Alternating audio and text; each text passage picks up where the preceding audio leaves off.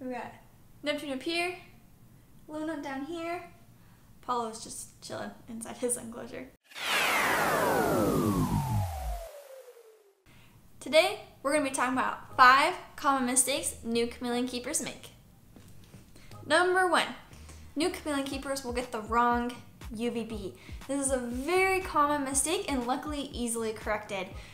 So what new keepers will do is they'll buy the chameleon kit or they'll go to the pet store and try and get advice from them and they'll tell them that they need a compact UVB, which is the squiggly bulb that comes in the chameleon kit. It even has a picture of a chameleon on it, believe it or not, but this is the wrong UVB for chameleon. What you want is a T5 linear HO, which stands for high output UVB. That's gonna be the long skinny one that you can see up above in my chameleon enclosures. The linear UVB penetrates much deeper than the compact UVB, which allows for pro proper synthesis of vitamin D3 and calcium absorption. Without the proper UVB, odds are your chameleon will develop metabolic bone disease, which can actually be fatal. So if you have the wrong one, just go ahead and go out and get the correct one and you'll have a happy, healthy chameleon. Number two, you're using the wrong supplements. So chameleons need three types of supplements. They need calcium without D3, calcium with vitamin D3, and a multivitamin. Common mistake is that new keepers will just use calcium with D3, and if you give this to your chameleon all the time, then you're actually poisoning them and running the risk of D3 toxicity, which can cause problems for the chameleon. So what you want to use is calcium without D3 six days out of the week, and on that seventh day, alternating between calcium with D3 and a multivitamin. And I have a whole video on supplementation, so I'll link that up above here and in the description box below. If you have a Jackson's chameleon, then they're going to need a different supplement schedule. The one I just talked about is good for panther and veiled chameleons, so if you have a Jackson's chameleon, check out the description box below.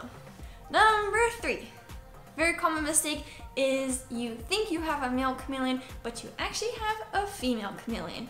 And the reason why this is problematic is because female chameleons, just like chickens, will lay infertile eggs, even if they haven't come in contact with a male. The most preventable cause of death for a female chameleon is becoming egg bound. So what'll happen is people will think they have a male chameleon, because that's what the pet store told them, when in actuality they have a female chameleon. And if she doesn't have anywhere to lay her eggs, then she'll get egg bound and die. But people don't know they have a female, so they don't know that they need to provide her a laying bin. So making sure that your chameleon is properly sexed. I did a whole video on how to sex a veiled chameleon, and I plan on doing one about a panther chameleon. But feel free to research and see how to properly sex a panther chameleon and check out my video on how to properly sex a veiled chameleon. But even if the pet store told you male or female, please double check. Please double check. You could save a chameleon life. Number four.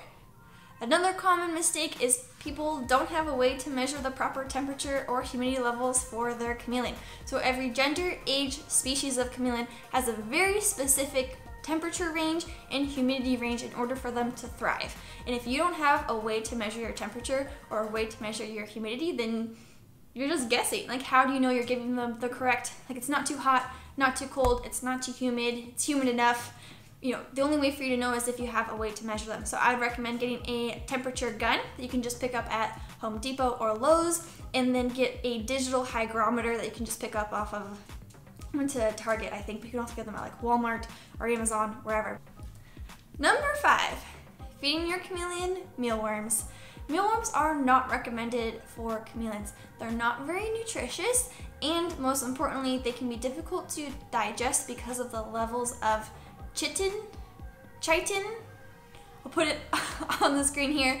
But point being is they have higher levels of this word, chitin, chitin, than say like a superworm. And superworms, while they look similar to a mealworm, are not the same.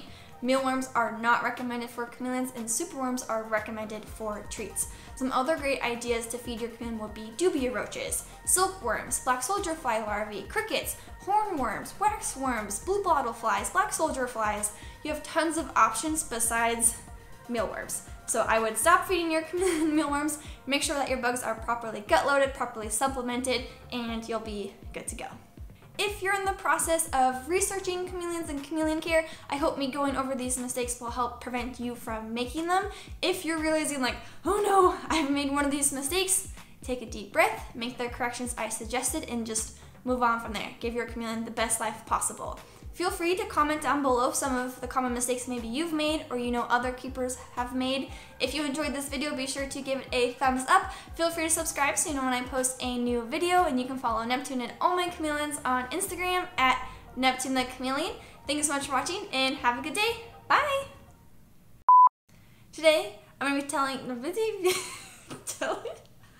Oh gosh.